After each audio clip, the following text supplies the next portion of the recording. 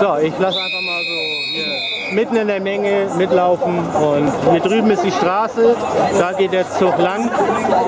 Diese Information ist nicht länger in deinem Land verfügbar, das kennen viele von YouTube. Okay.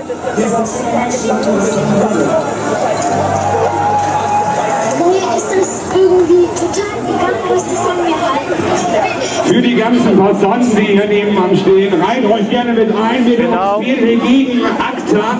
Ja. Ähm, Für die Freiheit, für die. Freiheit. Oder ihr ruft einfach mal die Homepage auf stoppacta-hamburg.de. Da findet ihr auch weitere Informationen dazu, was überhaupt ACTA ist. Und äh, es ist definitiv nichts Gutes. Also informiert euch mal selber darüber. Und mir hat sich mittlerweile eine Passantin angeschlossen.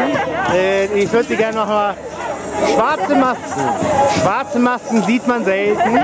Äh, kannst du den Zuschauern kurz erklären? Hat das eine Bedeutung oder ist es einfach nur so als Jux und Dollerei? medizinisches Personal.